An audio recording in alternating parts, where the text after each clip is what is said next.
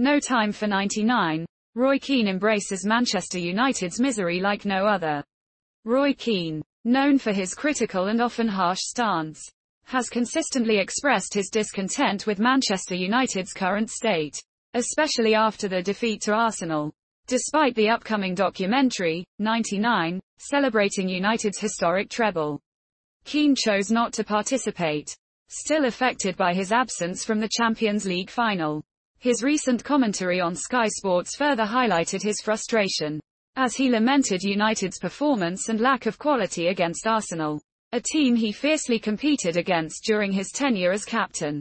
Keane's relentless embrace of United's misery underscores his enduring connection to the club's fortunes. Please subscribe to my channel.